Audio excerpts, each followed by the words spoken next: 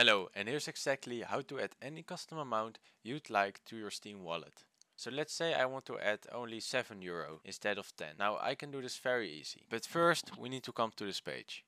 In order to come to this page, we can either click on under our name right here, there should a wallet balance, we can click on that. But for me it doesn't show up, so we can click on our name right here and then click on account details. And once we're on this page, we can click on add funds to your Steam wallet. Now we're on the right page. Once you're on that page, what we'll have to do is we'll have to inspect this button and change the value of this 5 euro. So in order to do that, just right click on the add funds button, click on inspect and then here you'll see this highlighted part. So this is the button and we need to click on the part that is above that. So here you will see a lot of text and you see data amount is 500. And when you double click on 500, you can edit this amount. And the 500 basically means the 5 euro right here. So now we can change it to, for example, 700 and 700 will basically mean 7 euros. If we change it to 1000 it will mean 10 euros. If we change it to 15,000 then we have 15 euros. So if you have the amount you want please press enter and then you can close this. Now click on the add funds where it says 5 euro because you just edited that and when you now make a payment